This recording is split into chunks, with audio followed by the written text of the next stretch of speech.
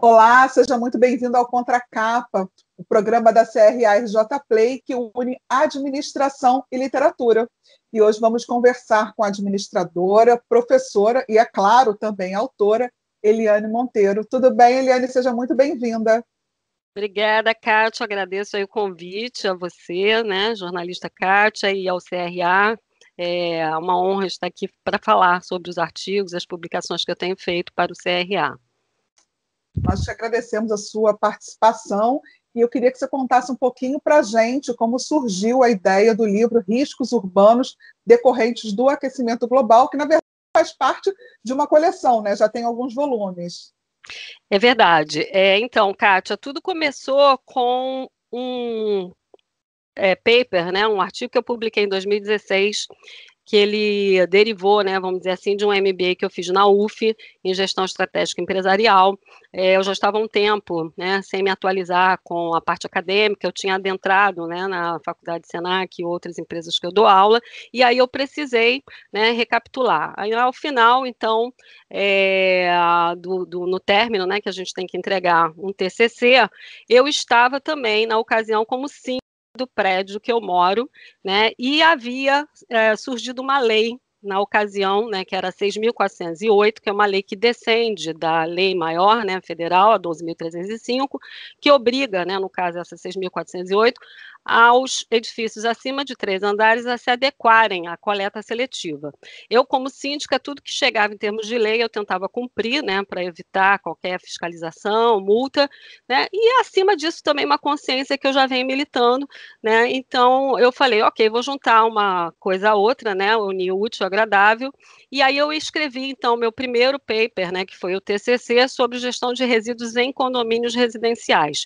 Esse artigo, né, foi uma pesquisa aplicada aqui num condomínio, que são 41 prédios, né, que compreende, né, um, condomínio né, que reúne ao todo 25 mil pessoas, e esse paper ele foi muito bem aceito, né, eu tive uma pontuação alta lá no, no, na avaliação, e aí eu já decidi então que ele seria o meu projeto de mestrado, porque eu já né, venho na parte né, de, de corporativo, né, de trabalhos né, uh, corporativos há 30 anos da área de marketing, né, já tramitando para essa área de sustentabilidade, e eu falei, então tá, por que não caminhar aí por esse né, caminho da, do marketing sustentável, do marketing ambiental, e aí eu adaptei o projeto, é, que virou então meu projeto de, de mestrado, que virou uma dissertação é, sobre resíduos em hotéis, porque eu dou aula né, na Faculdade de Senac para hotelaria e administração hoteleira, eu faço parte, sou membro né, do CRA como administradora, né, e venho também desse, desse, dessa segmentação, né, desse, dessa área de hotelaria, e uh, fiz uma pesquisa que comparava duas redes de grande porte, né, eu não dou nome no, nos artigos, não sai o nome das instituições, né, mas são duas redes, uma é, de grande porte, uma nacional e uma de é, marca internacional, e ali eu faço então uma pesquisa de campo, entrevistando os principais executivos, para entender como era a padronização da gestão de resíduos nessas duas organizações e gerar um modelo que pudesse ser aplicado em pequenas e médias, porque pela pesquisa, a pesquisa indicou que as grandes já estavam se adequando né, à coleta seletiva, à gestão de resíduos, já padronizando pela PNRS, que é a Política Nacional de Resíduos Sólidos, que vem né, da 12.305, a lei né, federal que nos obriga, né, como responsabilidade compartilhada desde o consumidor, né, as empresas, a praticarem a coleta, é, mas nas pequenas e médias não, porque elas é, não têm estrutura, né, não têm recursos ainda para fazer isso, e também não tem nem, vamos dizer assim, um incentivo para fazer essa padronização. É, esse então, né, que é, foi publicado no livro Riscos Urbanos, ele descende da minha dissertação de mestrado. Né? E como é que ele foi parar, então, nesse livro? Né? O livro Riscos Urbanos Decorrentes do Aquecimento Global, ele é um livro que ele é editado e publicado né, por dois organizadores da UF, que eu também dou aula lá na pós-graduação, e aí fui convidada pela professora Ana Cerô e o Bruno Berdelay, que são os organizadores, e eles fazem, né, reúnem, vamos dizer assim, professores, pesquisadores, né, até consultores também para áreas né, corporativas, que venham é, escrevendo, publicando, né, e fazendo consultoria nessa área do meio ambiente e sustentabilidade, visto que tudo hoje impacta o meio ambiente, nos impacta. Então é isso, né? Esse livro ele tem um tema de suma importância e a primeira publicação que eu entrei, porque ele já teve volumes anteriores que eu não estava, eu entrei em 2018, que foi o primeiro volume publicado, então, né? Que é essa capinha verde bonita, que cada um põe um capítulo, e eu escrevo, então, né, sobre a padronização dos resíduos em hotéis. É, esse volume, né, ele é, já, né, vamos dizer assim, me antecipou também um olhar para seguir as escritas. Então, no volume 4, eu publico, né, de novo, uma atualização da primeira pesquisa que eu fiz aqui no meu condomínio, né, que compreende né, essa junção de 41 prédios, eu vou atualizar essa pesquisa com uma pesquisa de campo na quarentena, para ver como é que estavam então os processos, se haviam melhorado, né, se é, de fato as pessoas tinham interiorizado né, a questão da importância de se praticar coleta como né, um dos recursos, vamos dizer assim, um dos processos né, a minimizar os impactos ambientais, e a pesquisa aponta que, na verdade, pouco andou de 2016, quando eu publiquei né, o primeiro artigo, que foi publicado num journal científico, né, e aí eu publico aqui nesse livro mostrando essa atualização dessa pesquisa, e apontando que os processos eles continuam errados, não há uma padronização também em gestão de resíduos de condomínios a, a, por diversas questões que vão desde né, alguns síndicos que ainda não atenaram, né, não atinaram, perdão, para essa questão, é, para outras questões como, por exemplo, a própria comunidade que não é, né, é estimulada para fazer essa coleta, como questões né, de ordem pública, né, que a própria Conlurb não dá conta de pegar toda a coleta seletiva, que são 41 condomínios de uma região da Zona Sul, e deveria né, de ter uma organização, tem várias comunidades ao, re, ao, redor, mas a Colube não dá conta, ela tem um processo de retirada dessas coletas, né? Mas aí tudo se passa entre a não organização pelos síndicos, né, pelos próprios é, moradores que não atinaram para isso, não fazem, não organizam para que a Colube pegue, e também como a Colube não dá conta, né, por todo esse volume gerado. E aí nós teríamos, então, que priorizar, né, uma gestão que organizasse as cooperativas, os catadores, né, mas ainda não há uma organização por conta disso também, né? Então, enfim, é uma cadeia que fica toda prejudicada. E aí, como eu venho escrevendo. Como é que é o nome desse primeiro texto? O primeiro texto, ele traz né, como título a padronização da gestão de resíduos, um olhar sobre a incorporação de práticas ligadas ao marketing ambiental em hotéis de grande porte da região metropolitana do Rio de Janeiro. Eu trago essa discussão do marketing ambiental como né, uma área, vamos dizer, uma disciplina é. que deveria de ter esse olhar, né, não só pelo lucro, como eu também vou discutir agora em outro paper que eu vou trazer da minha tese de doutorado, mas sim por uma é, consciência né, maior né, que está ligada aí a essa questão social né, e ambiental, como eu chamo na minha tese, psicossocial, onde todos nós nos envolvemos, desde o psíquico, né, do micropolítico, eu devo fazer, né, assim as empresas, e assim o todo, e também não só responsabilizando, responsabilizando os órgãos públicos, né, que, na verdade, ok, eles estão aí para né, uh, entrar né, nesse trabalho, mas eu acho que é uma consciência psicossocial de todos nós, né. O segundo paper, Kátia, já que você me, me colocou aí a questão, né, de quais são os papers, então, aí nós publicamos em seguida, né, no volume 4, esse volume 4, eu já coloco um outro paper que vai falar também de resíduos é, em coletas seletivas de residências durante a quarentena. Então, o título do volume é Natureza, Redes e Controvérsias, Cartografias Psicossociais do Sistema de Gestão de Coleta Seletiva e Identificações Residenciais, porque nessas pesquisas são pesquisas científicas, né, então eu tenho que ter um processo, uma metodologia, eu uso uma teoria que é do Bruno Latour, que é um pesquisador, professor, né, científico, acadêmico francês, que ele usa uma teoria, uma metodologia que ele diz, olha, vai ouvir todos que estão envolvidos nessa problemática. Então, eu não ouço somente os síndicos, eu ouço as comunidades, ouvi é. também os catadores, ouvi a Conlurb, tá, para poder é, concluir aqui o meu estudo. É, esse estudo, é, Kátia, ele não se esgota, né, é um tema que ainda tem muito para a gente estar tá desenvolvendo, então eu venho transformando esses papers, né, em outras pesquisas, agora eu tenho uma pesquisa da minha tese de doutorado que é sobre resíduos é, das gigantes, Coca-Cola e Ambev, né? Então eu faço um recorte no estudo é, da plataforma Reciclar pelo Brasil, que é uma plataforma que reúne não só essas gigantes que firmaram um acordo em 2017, apertando né, lá as mãos entre os executivos concorrentes com a Ambev, para darem um start aí numa plataforma para gerirem né, os resíduos de forma é, circular e não mais linear, né, numa gestão vertical. Elas entenderam que sozinhas não podem resolver isso. Essa plataforma ela se amplia, ela está hoje sob a gestão da ANCAT, né, que é a Associação Nacional dos Catadores, e ela então reúne 17 empresas, entre elas Nestlé, Vigor,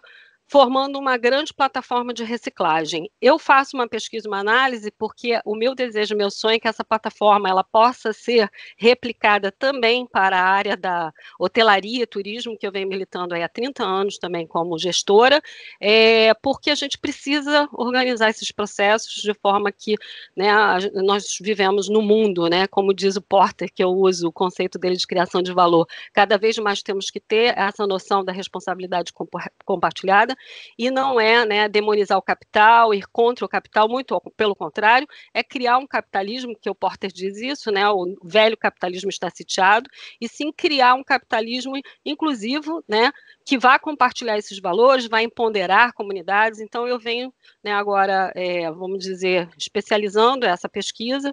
É, esse livro, né, ele ele é publicado anualmente, então já tem um outro paper que vai sair agora no volume 5, numa pesquisa que é sobre resíduos em aeroportos, e eu venho segmentando. E o próximo, então, será um livro meu publicado, né, que vai descender, vai derivar da, da tese, sobre essa análise dos resíduos das gigantes, Coca-Cola e Ambev. É mais ou menos esse o caminho. Esse, esses, esses papers todos que você é, divulga nos livros, né, que eles são publicações referentes desses livros que você citou, eles são todos estudos científicos. Então, assim, ele, ele, é, ele é diretamente ligado às pessoas que estão ali em busca de conhecimentos técnicos sobre o assunto. Perfeito, eles são estudos científicos com metodologias, né, que vão apontar aí, indicar um caminho, né, com uma prova científica, evidências, então tem pesquisa de campo, tem muita, né, referência bibliográfica, revisão de literatura, né, e eles são publicados é, em journals, né, é, a, a, veículos, né, acadêmicos, já apresentei também congressos, simpósios, anais, recentemente eu a, até estou terminando um relatório grande né, para um simpósio da ANPEP, que é a Associação né, de Pesquisadores é, em Psicologia, porque minha, meu doutorado está dentro do Instituto de Psicologia, eu resolvi né, procurar uma linha interdisciplinar que me apontasse um caminho para essa discussão, não somente pelo marketing, que é a área que eu me especializei, né, dentro da administração, desde 2003, né, que eu venho fazendo MBA, especializações, é, e aí eu, eu procurei exatamente um lugar que eu pudesse fazer a discussão do marketing, não pelo olhar né, da academia, vamos dizer assim, da escola de Chicago, né, de Kotler, que vem da área econômica, né, e depois ele entra para o marketing, mas sim no entrelace, né, num, num atravessamento, vamos dizer assim, com outras disciplinas. Então, a psicologia ela tem uma importância muito grande nesse nosso pensar, né, nessa nossa mudança de paradigma, né? E aí eu faço então essa discussão entre a escola de psicologia da UFRJ na URCA com a escola de comunicação, é, é entrelaçada essa discussão. Né? Meu orientador, que é o Fred Tavares, ele é o primeiro né, é, ser indexado na procura de consumo, consumo consciente, é, né, questões do consumo né, por esse olhar psicossocial. E aí, então, eu venho especializando esses papers acadêmicos, apresentando em simpósios, né, em fóruns, uh, entre eles uh, a Brapso, a Ampep, a Ampad, outros nessa área de psicologia, e eles são publicados também, né, como no livro foi publicado em outros journals. Interessante, porque assim, sai da resíduos, elas vão além do campo da da administração ali da gestão, como você citou, né? Ela passa pelo campo do marketing, ela passa pelo campo da psicologia, ela passa pelo campo da educação, porque é uma questão de, de rever, né? Comportamentos também. Então, assim, quem acessar o, os seus textos, é, você vai ter, podem ser profissionais das mais diversas áreas. Ele não está ali centrado num grupo pequeno de profissionais de uma determinada formação. Exatamente. A gente costuma até dizer nos nossos encontros, né, como nós tivemos agora na Ampep recente, né, tem foi esse mês de novembro, a gente está fechando um relatório, 20 pessoas, né, num encontro desse simpósio que foi online, deveria ter sido em Belém, no Pará, mas, né, veio aí a quarentena, com 20 é, pesquisadores e também são né, profissionais é, que atuam na área também corporativa, é, de diversas áreas, né, economia, área de direito, né, são advogados, psicólogos, administradores como eu, e pessoas também né, da, da, do campo da administração pelo turismo, né, hotelaria, e é um grande encontro realmente de saberes, de conhecimentos, de pensares, né, como a gente gente diz, né, não colocando cada caixinha nos, né, dentro de uma igrejinha, vamos dizer assim, como a gente chama, mas compartilhando esses saberes né, num conhecimento interdisciplinar e também transdisciplinar. Eu leciono meio ambiente e sustentabilidade na UF para pós-graduação, levo essa discussão inicialmente a um grande choque, né? É difícil, os papers não são realmente de fácil leitura precisa fazer essa mudança, né, de paradigma, mas é exatamente isso que você falou. É uma questão de, de, de, ler e aceitar, né? Não é só questão de ter o conhecimento, né? Passa por um, por um outro campo. E onde é que a gente encontra esses livros, Eliana?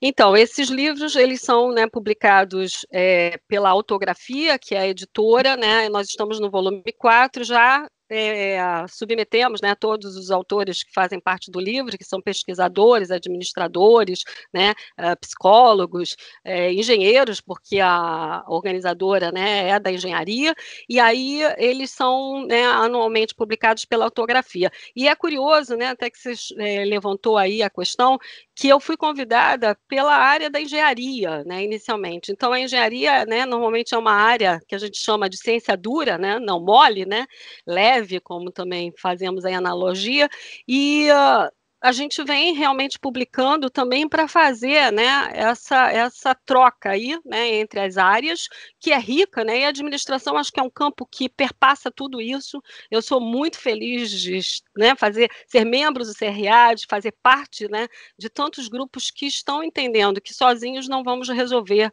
né, a questão aí né, desse impacto ambiental. Eu acho que não temos mais por onde fugir. Né? Hoje eu tive um insight assim, antes de começarmos a gravar, eu já estava me preparando, e aí eu faço uma meditação também, né, início do dia, e me veio uma questão, bom, o nosso planeta é único, parece uma, uma, né, uma fala meio romântica, é romântica, eu no fundo sou romântica, mas ele é único, ele também pode servir como um ensaio para outros planetas, porque já existem estudos da NASA, né, apontando aí para outras, outros caminhos, se é que eles existem, né, eu fiz um, uma eletiva com a Débora Danovski, que é esposa do Eduardo é, Viveiro de Castro, né, são filósofos, e ela publicou um livro, né, que é, tem um título que eu amo, que é A Mundo por Vir, né, que é também até uma, uma parte da canção do Caetano Veloso, que ele diz que adorou, que eles são amigos, né, e ela usou esse título.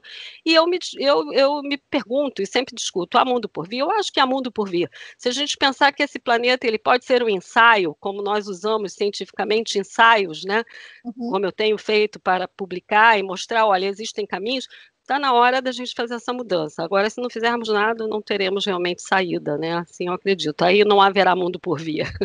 Citando a Débora da haja, né, Quem não acreditar, que ainda que não haja, existem pessoas por vir, né? Então, que façamos uso para, para as próximas gerações, independente delas serem próximas ou não de nós, né? Mas o compromisso com o outro.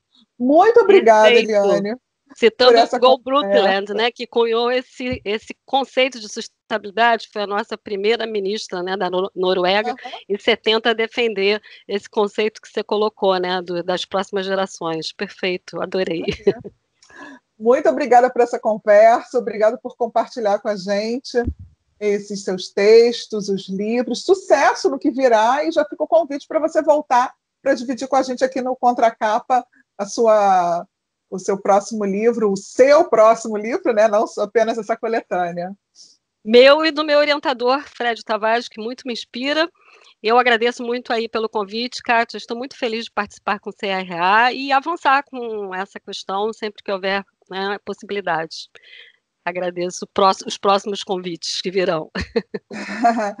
muito obrigada, Eliane. Muito obrigada você também que ficou aqui com a gente é, buscando um pouquinho de conhecimento, não sai daí não, busca, tem mais coisa aqui no Contracapa, fica aqui na CRARJ Play que tem mais informação para você, mais entrevistas, mais eventos. Até o próximo encontro.